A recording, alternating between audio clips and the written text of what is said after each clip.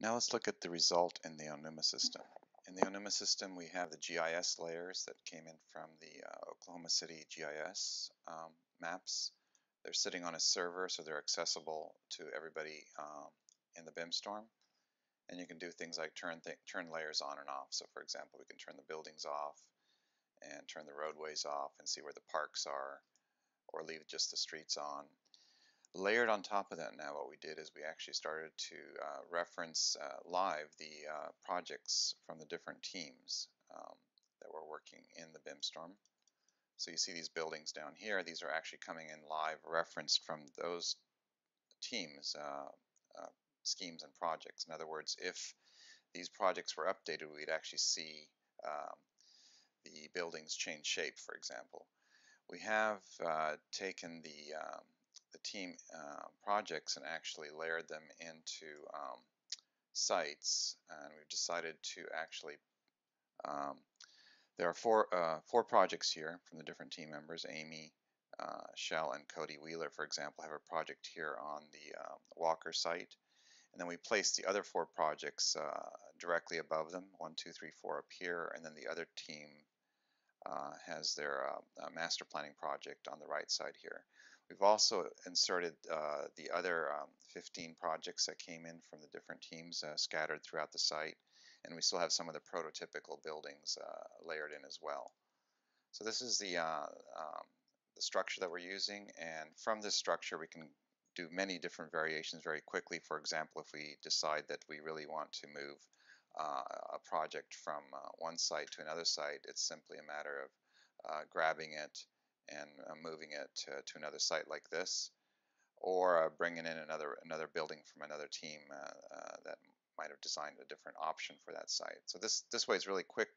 One can quickly uh, analyze different options uh, using the, uh, the input that was generated by the participants in the BIMStorm. From these designs now, um, we can actually, um, let's turn off some of the GIS layers and just look strictly at, at uh, the, the projects that came from F, FNBS, for example, is on the right side here. Uh, if we click on the report button, we can generate live reports. This is a live report, an aggregation of all the uh, areas of the site and the cost, uh, the total acreage, 358 acres, as the buildings are added, uh, the total building areas would, would get updated here. We have classified the buildings by OmniClass facility type, so for example, residential units, etc. So you get this um, live pie chart here, and there's also a, a roll-up of util estimated utility usage, uh, electrical use, and water use, for example, and operations and maintenance cost. These numbers can be adjusted uh, quite a bit in the settings. We left them as default right now. Another report is a building comparison. These are all the buildings. Each column is a building. So you'll see the name of the building and the site and the estimated construction cost and the um, details about the uh, energy use per building now. And uh, occupancy, for example, shows the residential number of residential units, um, utility summary, and operations maintenance cost a lot of these buildings came in from different teams, so some, some of the data is not 100% complete, but at least you have a starting point. Uh, for example, for, for whatever reason, this particular building did not have the energy data entered in it, so it's not actually reporting energy use. But most of the submitted projects actually have the default values or entered values from the teams that are generating energy use per building now. So you can either roll it up at the whole city level or drill down to an individual building. And if the settings are changed, um, these uh, summaries would also get automatically changed. Another view is to look at some of the other reports. Um, for example, you can actually start looking at um, reports about uh, cost summary. This is a, a, project by project report and just scrolls down. So there's many different outputs, essentially taking the data from the projects and uh, automatically generating reports from the uh, the geometries that were entered into the project. From here you can do a lot of exporting. So if we go to export, you can export to Google Earth.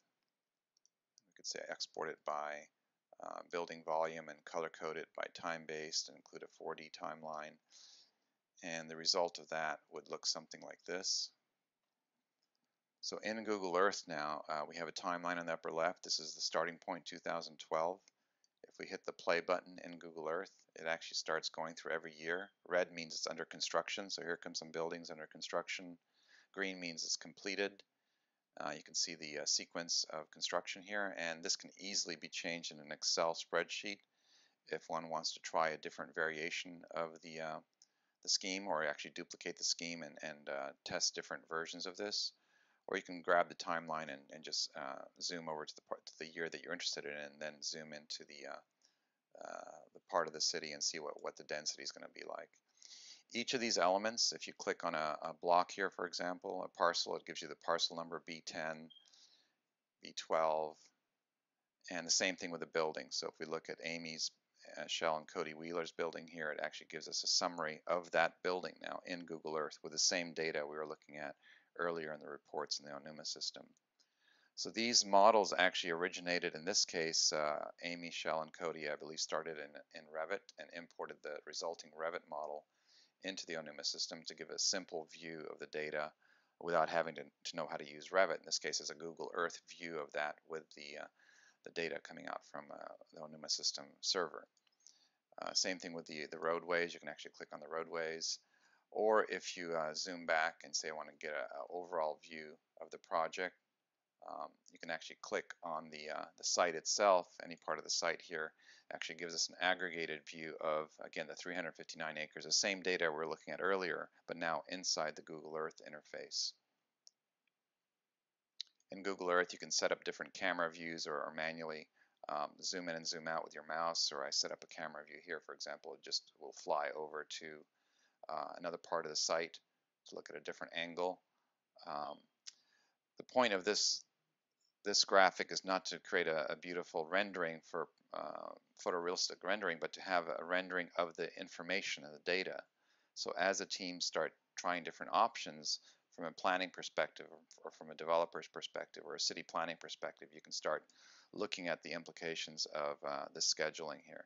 And as one can imagine, there's millions and millions of iterations when you start doing different phasing or different density or different buildings, and you would want to to study it from many different angles and see what the options there are there are from uh, a design perspective, from a real estate and a marketing perspective, for example. Uh, keeping the, the graphics simple like this allows you to rapidly view the complex data that started in the projects.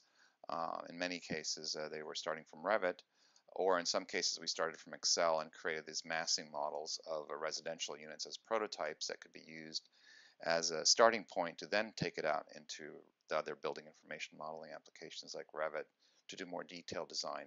There's no linear process to any of this.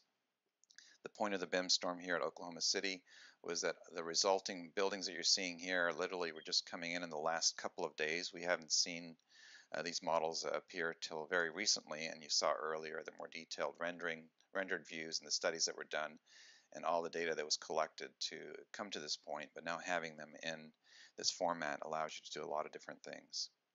So let's go back to um, look at a few, a few um, PowerPoints of this. Um, the Oklahoma City BIMStorm started with the um, uh, GIS data in the background. We started mashing up uh, since yesterday the buildings that were coming in from the teams.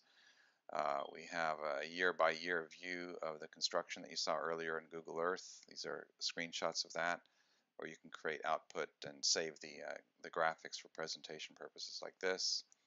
Um, the uh, detailed summary of cost and utility summary, building by building reports. And the last one I'd like to show is actually what it looks like live on an iPad. So if we have um, an iPad view like this, let's actually open up the iPad here and get to this position. There it is. So this is a live view of the iPad. So we're live on the iPad here and the same data that we saw earlier on the desktop and actually the same models that started from Revit now in a simplified format on an iPad allows many users to access the information without needing to know anything about BIM or the complexities of the tools that were used. So this is a a report from um, one of the projects. Let's go back and look at this project from Eric Medina and Adam LaCours. Or let's look at the project from Amy right here. Amy Shell and Cody Wheeler. Get the info button on that. It's giving us a summary of the project from Amy and Cody, the square footage and cost and other attributes that are available from it. We can turn on the satellite view and pull in the, the map uh, from the satellite imagery. Uh, this is a mashup of the building information modeling data, the, the, the satellite views, and other, other more detailed information. Let's go inside the building that Amy and Cody worked on and look at some of the upper floors. Let's look at the third floor. And there are all the spaces that originated in the, um, uh, the Revit model. And we can actually select multiple spaces, for example, say let's we want to do a quick analysis of how many square feet we have on the third floor of these selected spaces. I click the info button and there it gives you kind of a summary of those spaces. You can do a lot of other things like you can actually take a photograph or send a message directly from the iPad. So this, this is used a lot, and there's actually the list of all the people that are involved in the project directly from the database. This, as projects like this get more and more complex, it gets incredibly difficult to figure out who's on the team or who can we communicate with. So, for example, if I wanted to to send a message to uh, to Mike Bordonaro here, I could say, well, I'm looking at this building. What do you think of it? Take a look. So from the iPad, I'm, I'm typing in messages. I can uh, even uh, take a photograph. just take a photograph of my screen here that we're looking at. Boom, you take a photograph, say I'm on the site. I'm think I think this should happen this part of, this, of the, uh, the plan and I could send this off and it gets sent as a as a mail to Mike Bordonaro who can then see uh, the discussion we're having about this part of the building. It's we have the city at our fingertips now because we have this entire plan with all the buildings that were loaded just uh, a few hours ago, uh, accessible live um, in this uh, interface. And we're just showing one variation of this, but we could very rapidly, within about 20 minutes, we can duplicate this entire site, try a different layout, move the buildings around, try different density, delete buildings that don't make sense, and run another report again. So instead of generating static PDFs and static reports like this, just like on the uh, internet, when you're making an airline reservation, you have the access to the building data at your fingertips to try different options and come to a better conclusion with the, uh, the available data that you have. So back on the desktop now, same data, same buildings we're looking at, but now on the desktop, if we were to change this on the desktop and we were collaborating with the team and saying, okay, let's try a different uh, layout of the city here, uh, these changes would actually show up immediately in the uh, other interfaces that we were showing earlier. So with that, let's go back to the conclusion of the slide presentation. If there are any questions, um, the iPad easy access for all, live data on tablets, and we thank everybody for being involved with the BIMStorm Oklahoma City. Thank you very much, and signing off. This is Kimon Onuma from Onuma Inc.